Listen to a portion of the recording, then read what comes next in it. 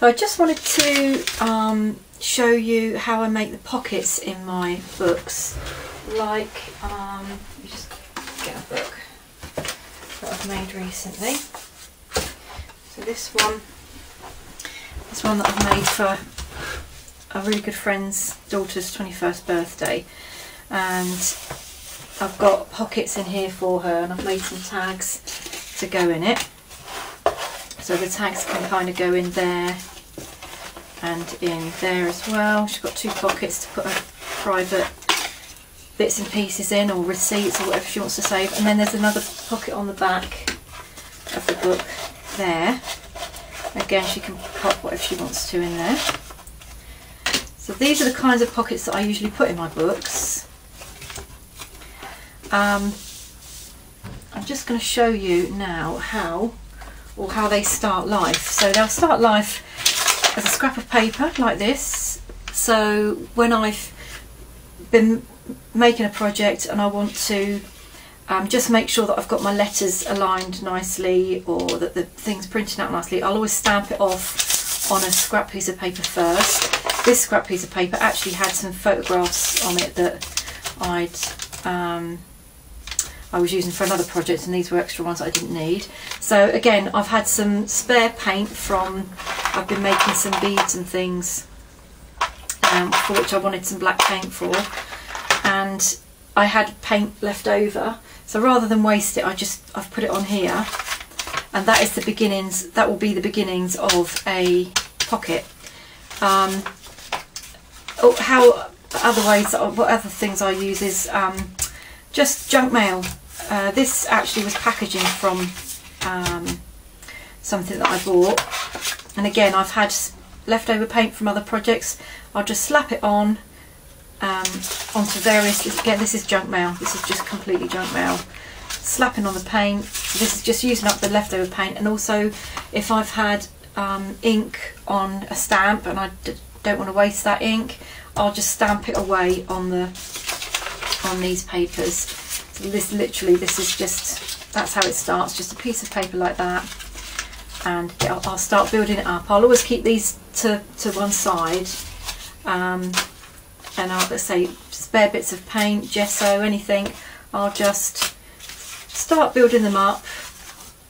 Um, you know, until I'm happy that they're covered enough that I can use them for another project rather than waste this you know, it's good strength paper or card I don't want to waste it so I'll just paint it with my leftovers and start building up building up my layers and then you know it will keep building up and I've this is one here that I've got that's that's getting near to being ready to use as a pocket so I've I've it's been stamped and layered over a, a, number of weeks, might probably months even. And this is the one that I'm probably going to use today.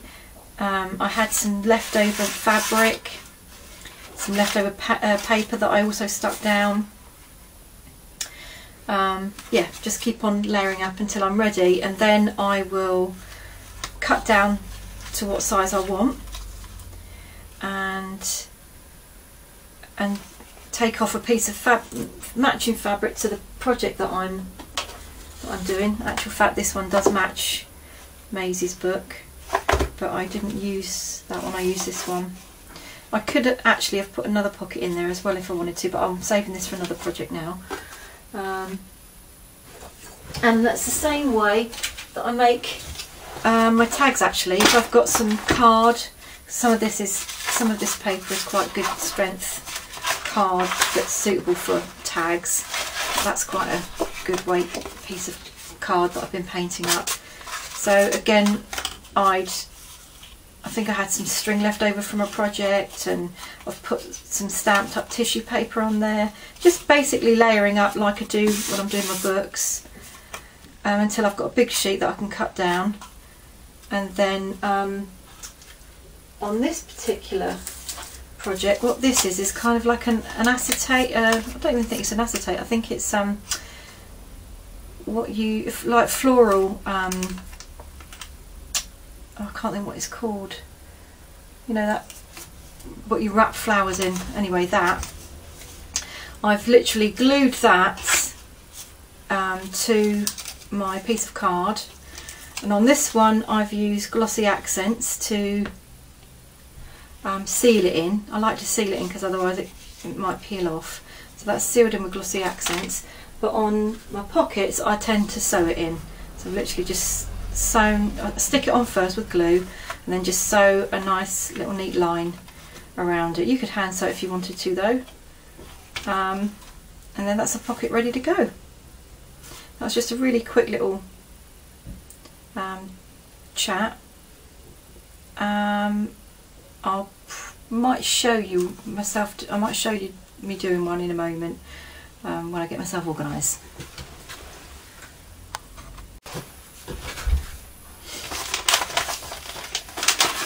So this is the um, the stuff that I was talking about.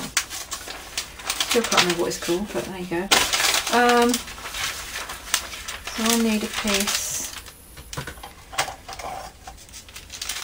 roughly.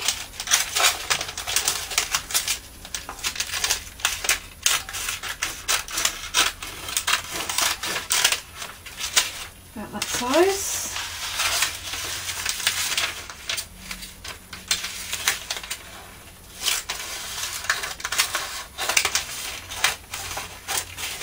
I've chosen this design because the book that I'm making this for is the one that I've been making on camera.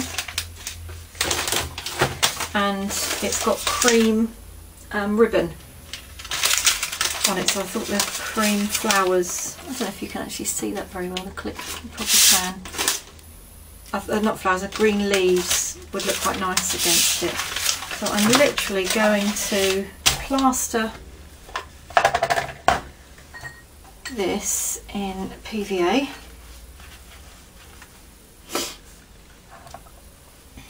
Let's just plaster it in PVA. If you ever see me using a number 7 pot or my little pink plastic pot, that's usually, one of them usually has full strength PVA in it and the other one usually has watered down PVA in it so that I've got it ready to go for whatever project that I'm happen to be working on.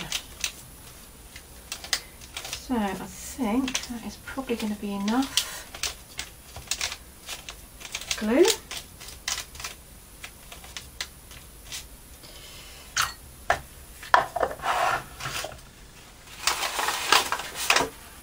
Let's get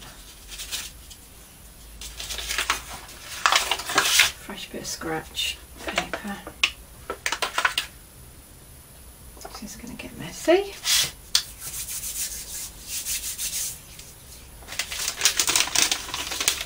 I'm literally just going to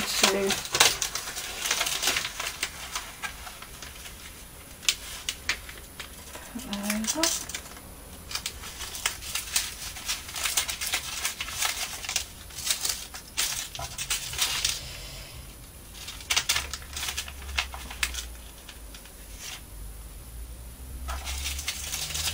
Yeah, I think I'm happy with that.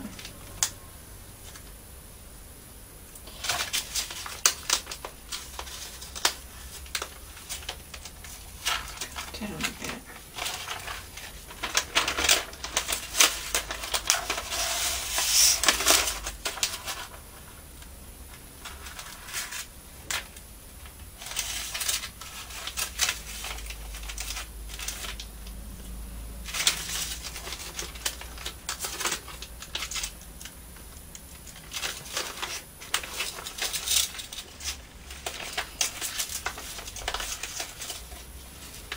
Get there in a minute, won't I?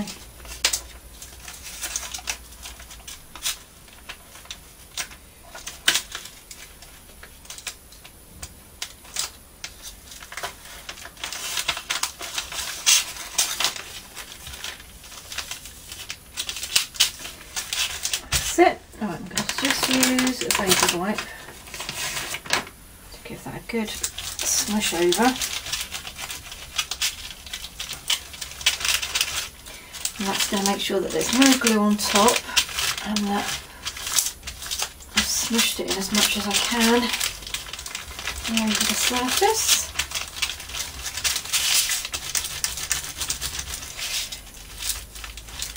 It doesn't look much at the moment, but hopefully when it's dry and the paint's and the glue's gone clear, it's going to look nice.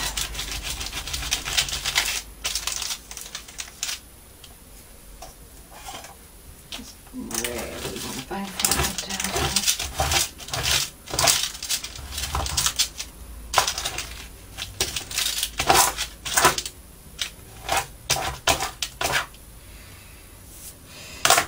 Okay, I'll show you what it looks like when it's dry.